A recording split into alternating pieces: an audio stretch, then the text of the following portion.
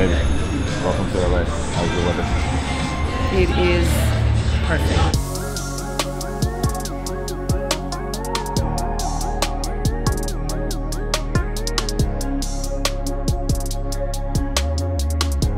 And it's perfect. It's beautiful.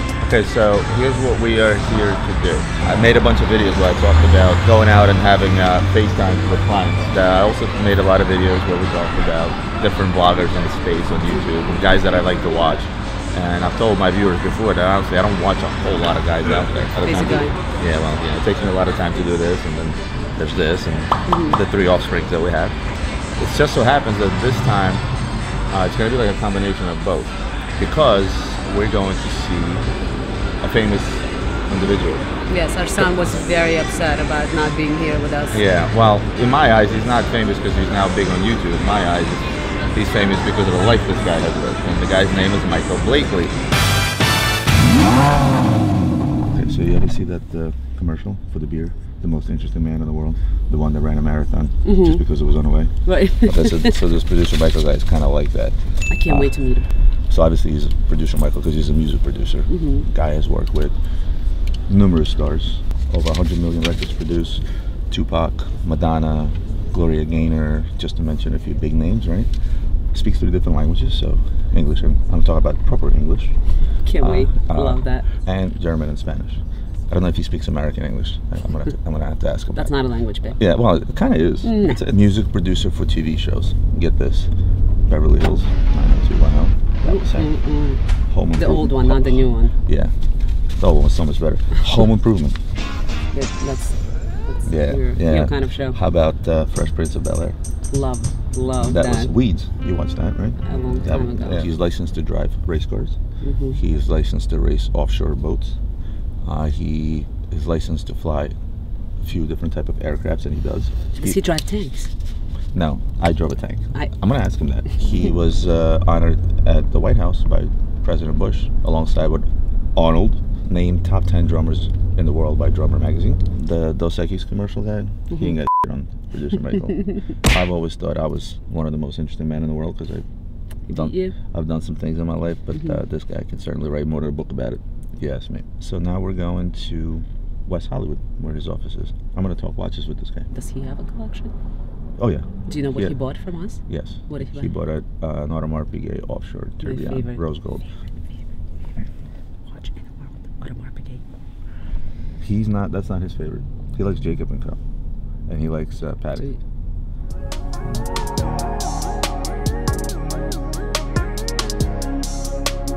Uh, babe, I, I forgot to tell you, I brought Ian and Amber with us. I like his camera a lot better. Ian, how I'm the hell are sorry. you? I'm sorry. This camera is much better.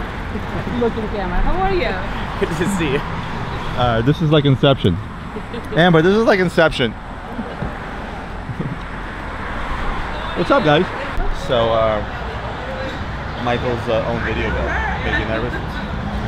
Not at all. I got. I Yeah, got, I got my own camera. He's, he, he spoke to him. He spoke to him last night, so seems like a cool guy, right? yeah. All right, we're here to see Michael.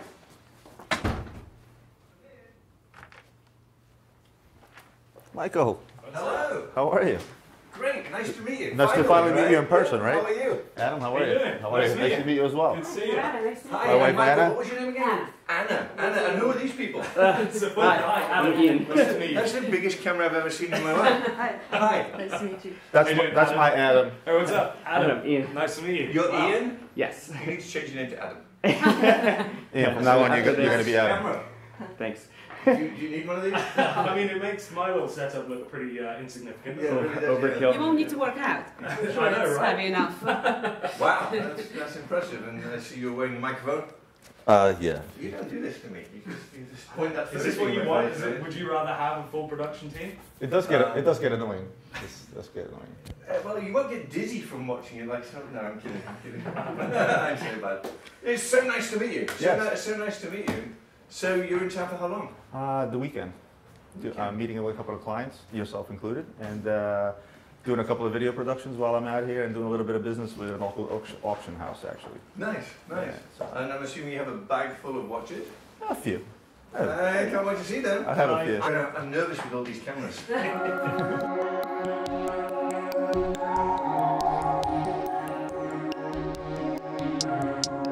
So, well, it's, it's great to meet you, and, and I want to know what you got in the bag. Okay, so, so before I show you this, I got two questions for you. Okay. Now, Do I have to answer these questions? no, eh, well, you do actually. Yeah, you do. You do. You owe me that much. I, I mean, I, I did fly six hours to get here. So, Especially to see me. Well, you are the main attraction. I must For say, you are the main. I, I'm t- I t- flattered. I- let me tell you something. If my my 16 year old wanted to skip school to come here, I told well, she told him absolutely not. But uh, when he found out that I'm going to see producer Michael, he went ape. shit. He What's his name? Marcus. Marcus hi. Sorry you're not here. I would spank him around a little bit. no, no, no. no. School is more important. That's it's right. So on the way here, I was talking to my wife Anna, and I said, uh, you know, this guy is like the Dos Equis commercial, right? The most interesting man in the world. She's like, what do you mean? So I started reading off all your accomplishments, the TV show, and I'm not going to go through the list. Let's just say please, I'll, I'll, I'll watch it. 90210 and Fresh Prince of Bel Air. I have to say because I love Will Smith. He's from Philly. He's my, you know, he's my guy. Uh, not to mention all the music you produce or who you work with, from Tupac to Madonna, et cetera, et cetera. But guys, he's Googleable. Is that even a term? I just need to sit back and chill while you Yeah, continue. is, is that is that even a term? So for all you guys that uh, you know want to know, just Google, just Google him, okay? And he's Googleable. That's it. I'm getting there, you know. Since I got a YouTube channel, if you Google my name, my YouTube You channel. will be after this You video. oh, yeah, I might be after this video, but but and I, I was going through all this, and the one question that came up was, why YouTube? You know, after everything you've done. And not to mention race cars, race boats, flying airplanes, and all those other wonderful things. Please don't mention flying aeroplanes. I still get PTSD after going in an aeroplane with him. Really? That is so. That is so wrong on every level. You're here to talk about it, right? So Just. I took it. He just turned red. Hold on, look at it. Seriously, You I, broke a sweat. I, I swear to God, I get PTSD thinking about it. Was it a little shaky? Oh, no, it was not shaky at all. It was Roman, I'll tell you after. Okay, so, so, so Hold on. don't get What are you talking about? Why are you saying this? Pardon? You're alive. I, I am. so- I am absolutely. He's got sweat on his forehead right now. Seriously, I am the safest pilot ever. I go by the book, no heroics. We only span twice. No, we didn't spin at all. Figure eight. Yeah. Anyway, sorry. Carry on. Yes, sorry. Carry on. Really so my question, so so my question was, after giving Adam PTSD and flying airplanes and driving race cars and race boats, why YouTube? Why YouTube? As in, why do I do YouTube? Yeah. It's his fault. This guy right here, uh, he suggested we should do a YouTube channel. And I said, why would we do it? What would it be about? And he said, well, you have lots of fun things and you live a kind of interesting life that most people don't. And he thought that people would want to see it. And I fought him on that for what, a month or two? We were up in Monterey, I guess it was two years ago, at the car week. And he said, I'm bringing my camera and uh, let's shoot a YouTube episode. Whatever. Didn't know what to do. We shot it and we were hoping to get, what, a thousand views or something like that. Yeah, I think so. Yeah. And it did a lot.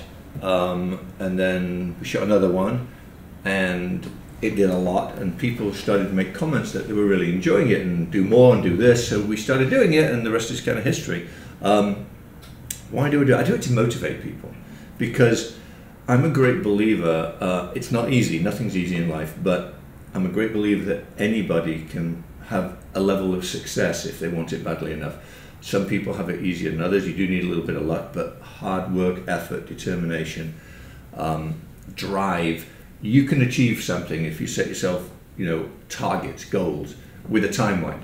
And, and if you do that and you achieve it, you set another one. You just keep building. And everybody has a different level. Success is whatever you deem it to be. So I thought, hey, it'll help if I can do that for people. That's, that's There's why I do a there's a a, a very interesting guy that once said, uh, if you want to get somewhere in life, um, dream big and set small goals to get there. Do you know who said that? absolutely. I did. But uh, I, I was going to say, I was going to say me. But, um, it's funny you said because that's exactly what I talk about within my own company. I tell it to my employees. You set timeline, and that's the key factor there. it's a goal without a timeline is a dream. Who said that? Me. See? And, and let me tell you why. Because if you set a goal and you don't set a time as to when you're going to achieve that goal, you're still going for it. If you give yourself three months, six months, a year, whatever it might be, and you haven't achieved it, you failed. If you did achieve it, fantastic. Big feather in the cap, set another goal. On to the next so step. without a timeline, you never have a goal to achieve it. just a dreamer. It's just a dreamer. So always put that as a That's- timeline to a goal. Yeah, you have to. If it's you can't you can't also set goals, results of which you cannot measure, which is another thing I always tell my employees within the company because uh, you know myself having come from nothing, being raised in a 400 square foot apartment in Brooklyn, New York, and always dreaming big. At the age of 13, I knew I was going to be somebody. I was going to achieve something. Maybe I didn't know what it was at the age of 13.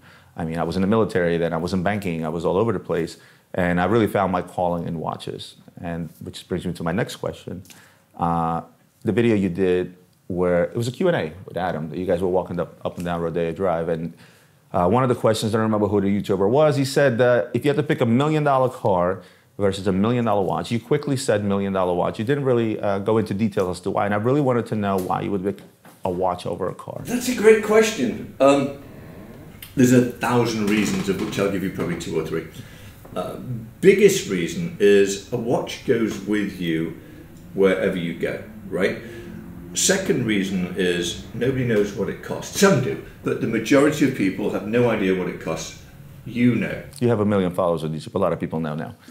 Yeah, but there's 340 million people in the US and 3 point something or 7 point so how many people in the world? 7.6 billion There you go, 7.6 billion, of which probably 98% don't know. And I don't, I don't wear watches because of the status. I wear them because I enjoy them, and it reminds me every day when I look at my wrist that hey, I did something to get this. Right, I worked hard for it. Um, you can't take a car into a restaurant with you. You can't go to the restroom and take your car. Not that anybody would really want to. I don't know why I use that. It's like restroom. why is it important to you that you could take a watch into a restroom, though? Because it becomes part of you, right? Okay. It becomes part of you. Your car is just a. Who you showing a off to in of the metal. restroom? That's a whole different topic. PG channel. Yeah, PG channel. PG channel, yes. So, no, but, but my point being is, um, it's a small item that you can reward yourself with. If you reward yourself with a car every time you achieve something, uh, you're going to need a lot of space, right? You're also going to need a lot of maintenance. These don't require maintenance, which is another reason. Uh, there's very few cars that go up in value, although obviously some do, but for the most part they don't. But watches, there are many that go up in value. So to me, I'm not spending money. I'm parking it in something that I enjoy, and I get to play with it whenever I want to play with it. Whereas a car, they go down in value. You know, you're worried about a, a truck hitting you when it's backing into a parking lot. Not too many trucks back into watches, right? So I can't say I've heard of an incident like that. Yeah, I have. I had a customer fall off a motorcycle once and slid roughly 100 feet on his offshore, which saved his arm literally. Wow. He lost two fingers in an accident, and the doctor said if it wasn't for the watch, he would lose the entire hand. Oh, I fixed that that really hot, right? Yeah. You fixed the watch. I fixed the watch. I made it as new. He thought I bought him a brand new watch after the fact. My watchmaker did wonders. He AP should have bought him a watch. AP should have used that as an advert, right? I didn't even think of that. This Yeah. watch saved this man's arm. Like the, the beer guy just now, uh, the guy that caught the baseball with his chest. Uh, Budweiser just gave him the whole uh, like a million dollar contract. Did you see this during the World Series? Guy's holding two beers, and a fly ball comes. It's a home run, and rather than Hold on, hold on. What's the World Series? what baseball? Baseball. It's this slow game we play in America. Stick. That's ball. the one with the stick. Yeah, it's kind of like it's similar. The yeah, one it's kind of like back. cri- it's kind of like cricket, but but not okay. So he just got a huge contract from Budweiser. Who was because- this? Some guy, some random guy standing in the stands. Home run comes coming in. He's holding two beers in his hand. So when a home run ball flies, everybody and their mother wants to catch it, especially in the World Series. This guy doesn't flinch, doesn't put his beers down, puts his chest out. The ball hits him in the chest, and he holds on to the beers, puts the beer down, and grabs the ball. After that, Budweiser, I don't know how many millions of dollars Budweiser gave him. There's like a whole T-shirt line now, you know, save the beer, and so I mean, I would have dropped the beer, I would have caught the ball, but anyway, you were saying, sorry. What's a home run? Well, when the ball goes over the wall, What wall? uh, the the baseball park wall. Okay. How long have you lived here? I am so lost. You have no And idea. we can talk soccer. I like soccer. So. I, I have a cricket ball somewhere. I don't know where it is, but I do have a cricket ball. Yeah. okay. Do you have the Sachin Tendulkar limited edition AP offshore? Do you have a what? Sachin Tendulkar. Car? You know, Michael Jordan of cricket. Michael. No. No. Okay. No. Never mind. So I mean, you answered my question. I, Yes. I, I mean, and I think it's a great answer. I love I love the fact of how you feel about watches, and you didn't give I'm an answer. passionate about them. Yes. I like cars, but I don't love cars. Would you go along with that? Yeah, oh, I mean, 100%. I mean, I don't even know what the switches in the cars do. I really don't. And uh, there's been episodes where we've done a review of one of my cars, and I don't know how anything works. And people laugh at me. They say, "Oh, I rent my cars because I don't know where the buttons are." I don't care what the buttons do, as long as the steering wheel works and it turns me around the corner and the brake Have you been in a. Tesla? You need a computer science degree to, to work that car. I actually have test driven a, a Tesla. Which one? It was the one. Model it- X. Thank you. It had the doors that went. That had Falcon the, wing. the Did doors- it, did it make it where the car danced for you when they turn the music on? They do it like a whole Did they show you that? That is the coolest. Plays Am I being music and the right now? No, no, no. Yeah, no, no, no. This, this car literally dances. They turn on the. It does? It's uh, the famous tune. I don't know what it is. What is it? Ian? Uh, They do. Uh, there's a couple. it's a Christmas thing. Yeah. yeah. I forget the song. And the car literally dances. The doors go to the music. The Really? lights go Yeah. off. Oh, that's it's the it's the coolest thing. But I didn't like the car because you couldn't hear it. Right? I like the Scare, sound it of scared the music. crap out of me the first time I went in there. You slam on the gas, it makes no noise, and your head goes back. Yeah, it's fast. It's like a roller coaster, literally. Right, it's fantastic. But gosh, I want to see. What do you got? Okay, so I know you have a humongous collection, and I feel like one of the things that you never really got into, or at least I haven't seen, is some of the older stuff. Yes, I did. Some of the older stuff. Now I brought some impressive stuff, and I brought some stuff to talk about where the market is, and so on and so forth. But really, Do you want to move all this crap out of the way? Not really crap. I mean, Ian, do I do I have one of these on my desk? No. Feel the weight of it. Oh my, my! I would like to thank the Academy for bringing me out here to Los Angeles. It's been a long journey getting. Anyway, so I want to talk to you about some vintage stuff. Myself, I got into vintage watches lately. Sorry, Roman, didn't mean to cut you off there. Unfortunately, this is a collaboration with producer Michael. So if you guys watching this want to see the vintage watches that Roman brought, head on over to producer Michael's channel now. In the meantime, enjoy the ending of our trip to LA. So, guys, I got to tell you, uh, I had an absolute blast meeting with Michael. Uh, we ended up staying an extra 45 minutes to an hour just chit chatting about various things that he's into. We found out we have a lot of the same interests, like travel and history and things of that nature. Uh, very down to earth guy, just as he comes off. Humbled. his- humble, very humble, just as he comes off in his YouTube channel. For all the haters out there that say terrible things about him, uh, take it all back because he's really a nice and humble person. Michael, thank you once again, guys. I hope you enjoyed this. I'm sure I don't have This to was tell fun you. for us. Yeah, I'm sure you, I don't have to tell you to subscribe to his channel. He's pushing like a million subscribers, but it was a lot of fun, and I hope you guys enjoyed it. And I'll see you guys soon.